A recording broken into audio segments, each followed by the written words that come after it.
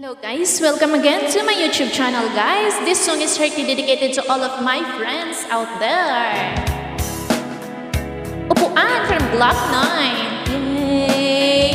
Yeah.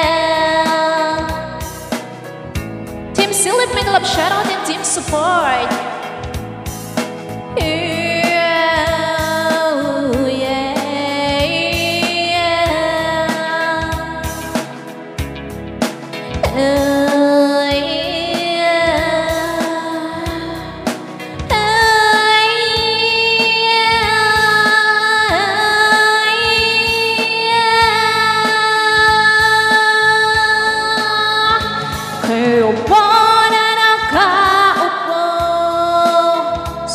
Subukan nyo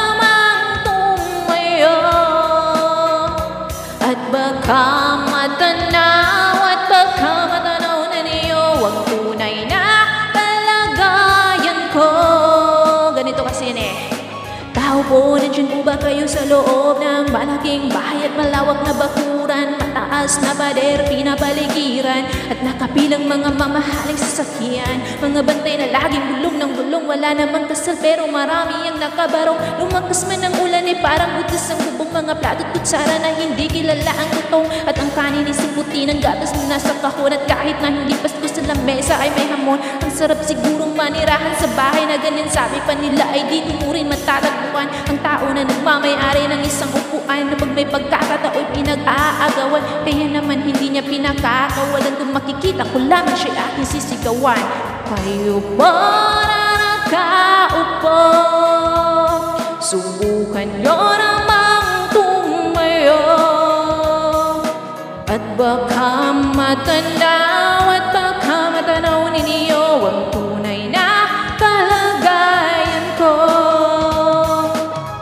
Mawalang galang na po sa taong nakaupo Alam niyo bang ang takal ng bigas namin Ay di puno ang dingding ng bahay namin Ay pinagtagpitag ng yero sa gabi. Sobrang init na tumutuno ng yelo Na di kayang bilhin upang ilagay sa inumin Pinagkulong tubig sa lumang takuring uling-uling Gamit ang panggatong na inanod lamang sa estero Na nagsisilbing kusina sa umaga. Aming bano ng aking inay na may kayamanan Isang kaldero na nagagamit ng pag ang aking ama sumusweldo. Pero kulang na kulang pa rin ulam na tuyo Tasin ng 50 pesos sa maghapoy pagkakasyahin Di ko alam kung talagang maraming harang Mataas lang ang bakod o nagbubulag-bulagan lamang po kayo. Kahit sa dami ng pera nyo Walang doktor na makakapagpalino ng mata nyo. Kaya Huwag kang masyadong halata.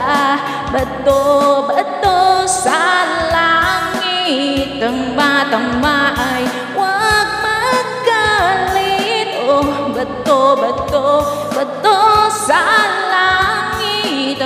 Ang matamaan ay huwag masyadong halata. Huwag kang masyadong halata. Eh, huwag kang masyadong halata. Kang masyadong